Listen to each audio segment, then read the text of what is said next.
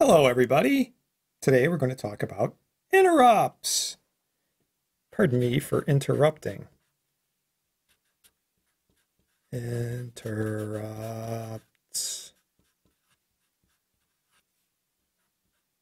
Very useful. What is an interrupt? Well, you know, what's an interrupt, right? Somebody barges in. An interrupt is essentially a high priority piece of code that is going to sort of take over, do its thing, perhaps in the middle of you know your sort of main line of code. All right. If you think about on the Arduino, you have this function called loop, right? And what it really is, as far as, as its um, uh, setup,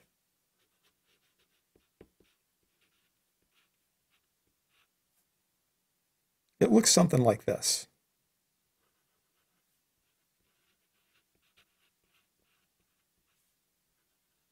Loop is just this call inside a while loop that goes forever. You write your code inside loop and it just runs, runs, runs. When it gets to the bottom of loop, it just comes right back in because it's just inside this while loop. So what you're really doing is something like this. While, you know, while true, right? And then you just have a bunch of, you know, code lines doing whatever. And you're done. So, you know, what are these, you know, whatever? Well, you could be, you know, checking an input pin right? Get a value from that. You could be writing a value to a port. You could be calculating something. You could be, um, you know, taking a read from an analog input, um, you know, mapping something. There's a whole bunch of things you can do, right? Etc. Well, in the middle of this, an interrupt can run, right? So this just goes forever. You know, it starts in, gets to the bottom, comes back up, and just forever, forever, forever, forever. So an interrupt is this little piece of code that can sort of barge in in the middle of any of this and do its thing. Now, you might wonder, you know, why do I even need to do this? Well, it's totally a matter of priority, and I'll explain this in a sec. But here's a really important thing you have to understand. When the interrupt sort of barges in when it interrupts, just like if you were, um, you know, at a party talking to some friends, someone can interrupt right in the middle of a sentence, right? You could be in the, in the middle of a word, and this person could just boom start talking. So you could have uh, uh, a piece of code in here like, um, you know, A gets B plus C, and right in the middle of this, you know, literally like um, pulling the value from memory and putting it into the value of uh, into the variable c, right? Like right before you do the addition, you know, boom, this thing can come in. So you're right in the middle of something, okay? It's not like it's going to wait for this this statement to finish. Okay, you know, the microprocessor is out there fetching a value from location C and it's going to put it into a register so it can add it. You know, boom, right there, right in the middle. Here comes the here comes the interrupt. Okay, so we just have to remember this is like a really high priority. Think like um, panic switch. You know, something really nasty has happened. Something we have to deal with immediately. Right? High priority code. So what can we say about this? Well, first of all, we would probably like to keep this short. You know, I'm going to barge in and sort of do something. I'm going to take over. So I don't want to take over everything for too long. Okay? So we do want to keep it short. It's possible to have multiple levels of uh, your uh, interrupt, right? So these can be prioritized.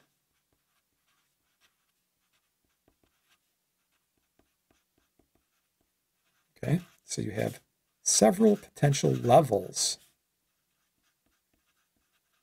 So one interrupt can interrupt another interrupt. Yeah, because it's like super, super important, right? You know, on a, something like a uh, uh, desktop computer, you might have an interrupt-driven keyboard. Right? You're typing, and you want to grab that uh, that letter that you just hit, that numeral that, that you just hit. It's a it's a high priority thing, or you know you're moving the mouse, so it's just going to sort of kind of barrel in and say, hey, I just hit the letter T, or you know whatever it is. Okay, all right. Um, so what kind of things actually generate the the interrupt? Right? What is it that causes the interrupt? Well, they can be generated by external events. You know, like I said, you could hit a hit a key on a keyboard, right? Now, in our case, um, on a microcontroller, you know, like an Uno, what this usually means is you're talking about the level on a pin. So, in other words, this thing has um, for example, changed from a low to a high. There's a rising edge or a falling edge. That's what's happening. That's what's going to trigger it. If you think in terms of, again, like a panic button, you could press the button and drive a pin. Let's say that was floating high. You could drive that low. And that low triggers the uh, interrupt. Okay? They could also be generated by internal events. Well, what do you mean by an internal event?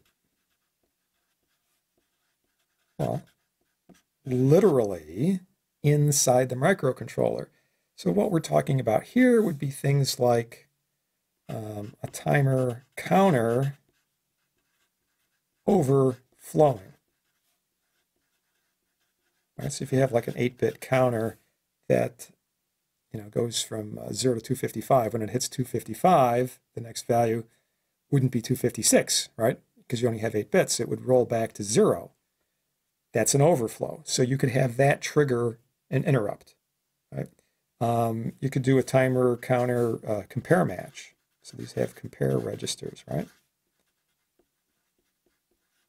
And you know more information on this. We have obviously data on timer counters separate.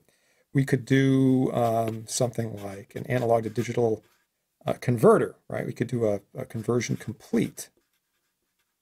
That could trigger. Now, if we have serial communications, that could trigger uh, an event, an internal event. So there's many things that could actually start off this, this process. Okay, so to use them, what's the what's the uh, order of of uh, you know work we have to do? Well, uh, the first thing we would have to do, item number one, is we must enable the interrupts, right? So these things aren't on automatically. You will find that there are uh, typically um, registers for things like uh, like a, a bit that would be a global interrupt enable. And then there would be separate registers for things like enabling specific kinds of external events or specific kinds of internal events. So that might require, you know, a couple of statements. In other words, for example, one to enable globally, number two to enable a, uh, uh, a timer counter overflow for timer number 2A or something like that. Okay. Um, so, you know, we could put that down as a separate thing. Say enable specific. We could say this is you know, generally, globally. And then we would have to enable the specific one, right?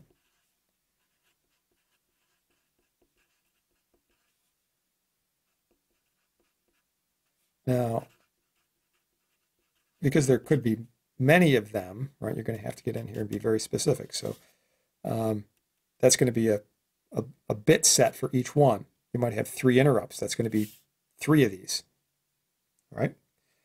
If you have an external interrupt, you're going to have to set up the hardware, right? How do I want to do that? What is it that's going to trigger it?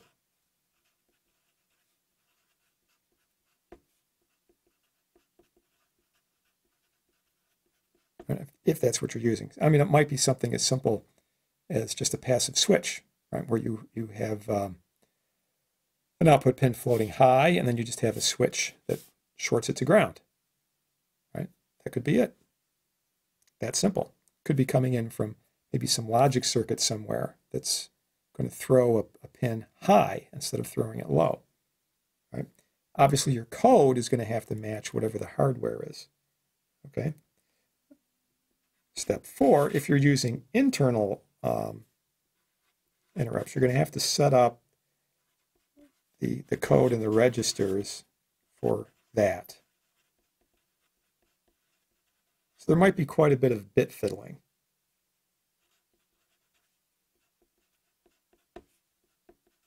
And as I said, if you're going to use these like timer counters, there's a bunch of different timer counters. There's different ways of, of utilizing them. So you might have to do quite a little bit of bit fiddling on here, right? Just setting up the timer counters is a whole nother piece of work, right? So when I say set up code registers, if you're going to do that, the timer counter, how do you want to do this, right? You can do a compare match thing. Are you going to do an overflow thing? Um, what is it? There's several different modes you can set the timer counters in. So all of that has to be set up.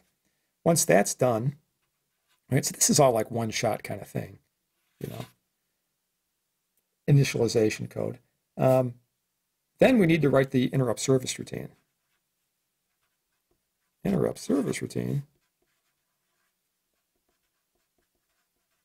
also known as an ISR. It is the function, it is the code that's called.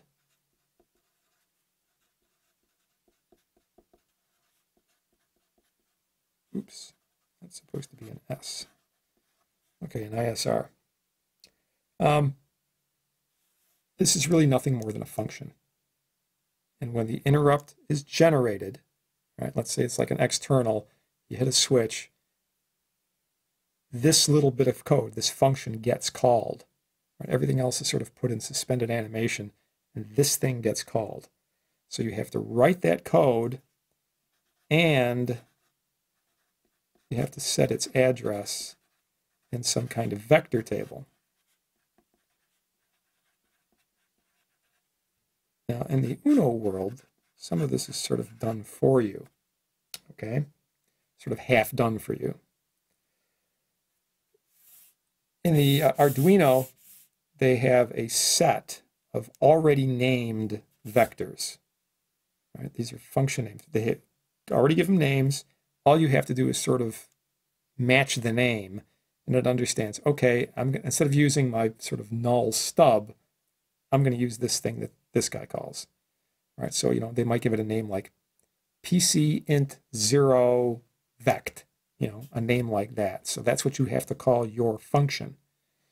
So you would have this thing, you know, whatever it's called.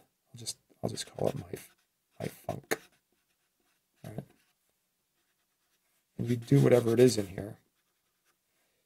So your code over here is running, running, running, running, running. You know, right in the middle of something, like I said, maybe right in the middle of this, the interrupt is generated, right? Whether it's a clock or an external thing, interrupt is generated. So what happens is wherever you are in this code, that's all saved. Okay, the uh, microcontroller saves the current status of everything. Then it vectors off all right, this is where the term vector comes from. It vectors off to this, so it's like out here, and then it just sort of like jumps to here, does this, then it jumps back from where it left off and resets everything. All right, so all that stuff was saved, a context is saved, jumps off, does this, jumps back, the stuff that was saved is reset, everything's back the way it was. All right. This is why you want to keep it short, because you don't want to leave this stuff hanging for too long. So very typically, this little function might just do something like uh, maybe adjust a global variable, and that's about it. Okay, it's not doing a whole lot. Um, you know, you're not going to have like long delay code and stuff like that in here. It's get in, get out, do it, boom. All right. Now, there are a couple little tricks you have to be aware of. Because an interrupt can happen at any instant, you probably want to have global copies of things. So if you have some global variable out here, all right, because this is how you're going to sort of read back and forth. If you just had a, um, a local variable, like I just got an int over here, you int x. Remember, this is auto class, meaning it's created when the function is entered, it's destroyed when it leaves. So how do you pass something back? Because it's not like a normal function call, you know, where you can say, you know, z gets my func or something like that, right? That's not not the way it works. So the way you sort of pass information back and forth is through some kind of global variable. So you would have instead something like this. You'd say int, you know, I'll just call it global x. So in here, you would be accessing global x. Like maybe you have something like a counter kind of thing, and um, every time you press a button, this gets incremented. So in this case, this global x, you would just maybe increment it, you know, like plus plus, this kind of thing. All right, that's all it does, it just increments that value. And then back here, maybe you're going to display it. So you are going to, um, instead of directly dealing with global X, you would make a local copy of it before you deal with it. So your local copy, you know, might be something like, I'll just call it my copy. And then you would say, my copy gets global X. Because you don't you don't want to um, uh, sort of monkey with global X directly. You want to kind of hide that. And now you can manipulate my copy, right? So maybe you need to do something where you're you know multiplying it or doing an integer divide or you know whatever the heck it is. Okay? Because here's the deal. Like I said, the interrupt can happen at any point. So if you were directly dealing with global copy, right in the middle of your computation, another interrupt could come by and change it. Whoa, that can have all kinds of nasty side effects, right? So you just work on your copy of it. It's kind of like that instant in time. And then the next time when this thing loops through and my global my, my global x over here has been changed, well, the next time through, it'll use the changed value, right? The other thing that you want to do is to avoid too aggressive of an optimization, anything that, that could be manipulated by um, any variable that could be manipulated by, by a, uh, an interrupt function over here, those variables, you would typically um, use the modifier volatile on it. So you wouldn't just say it's an int, right? You wouldn't say it's int x. You'd say it's a volatile integer x. And what this will do is the compiler will not try to overly optimize this. You know, in a real simplistic case, if you had something like, let's say you had like this, right? For c is 0, C is less than 100, C++, plus right? Um, and then you just, um, you know, maybe you had some other stuff in here, wasn't too important, and you just assign some other variable like d the value of c. Let's say, let's say this was empty, okay? You know, a smart compiler would look at this and just say, oh, well, this thing just counts from 0 up to, you know, 100. So why even do this? Why not just set D to 100? Right? Because you're not doing anything else. Um, you know, maybe you're doing this because this is going to take a certain amount of time to do. You're just wasting time. And maybe get something to sync up. It's not a great way to do that, but it's one possible way. Um, in which case, that's going to be thwarted by the compiler. If you had declared C as volatile, because maybe C is going to be uh, you know, manipulated in here, possibly by, you know, an interrupt, um, the compiler will say, no, I'm, I'm not going to try and, and, and uh, optimize this. I'm just going to do whatever you wrote. Okay. So th this can kind of get you out of trouble in those sorts of cases. All right. Okay. So keep it small. values are usually going to be traded around using uh, globals. And to access a global, you know, I showed this, but to access a global, usually we try to, like I said, hide this. So you know, typically what we would do is we would call a function. We would make a function like, um, again, this is kind of a stupid name, global x, but I'm just going to call a function called get global x. It's just going to return an int. And all this does is it just returns global x. So it hides it. My, my copy thing wouldn't just directly access global x. It would call get global x. Right? You say, gee, that seems kind of you know, convoluted. Well, the idea is to sort of protect and hide that variable. Um, and as a matter of fact, this is done right in the ADC system. There's a good example of this, which is um, uh, sort of manipulating the uh, reference standard for the analog to digital converter. Right? There is a function in there to set what the reference is. So this goes both ways. You could either read or write. Um, so to prevent people from from sort of accidentally uh, overwriting this supposedly hidden global variable, we just sort of encase it in a function like this. Okay, so that, this is maybe a little bit more of a fine point, but um, it's a useful thing to remember, right? Here's the big stuff. Keep it short. These things can be prioritized to several levels, so interrupts can, can interrupt other interrupts. Interrupts can be generated by external events, right? Basically a level on a pin. They can be generated by internal events. Typically that would be a timer counter, either overflowing, going into a compare match, or some other uh, specific level. Um, analog digital conversion completes another possibility. Uh, serial um, um, uh, transfer is another possibility. There's a bunch of these. Matter of fact, if you look in the uh, the appendix of the text, there is a list. There's 20 some odd, maybe 30 uh, entries in the vector table for the Arduino system. So there's that many different ones that you can use. Okay. All right.